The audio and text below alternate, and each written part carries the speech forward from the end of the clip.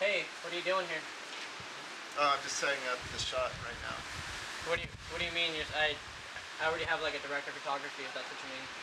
Yeah, I, I'm gonna need to see him or her pretty soon because I'm just looking at this right here. Mhm, and, mhm. Uh, who are you, by the way? You know, I'd like to see some of my crew out here. Do you think you Um, get them? Well, actually, I'm I'm directing the movie.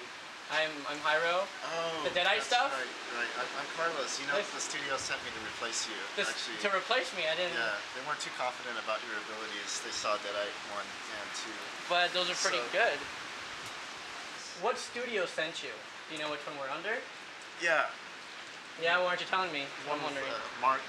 I Mark sent don't know who Mark is, my Uh, friend. you know, What, what is your name? Again, I forgot it. It's Carlos. Carlos. That's it.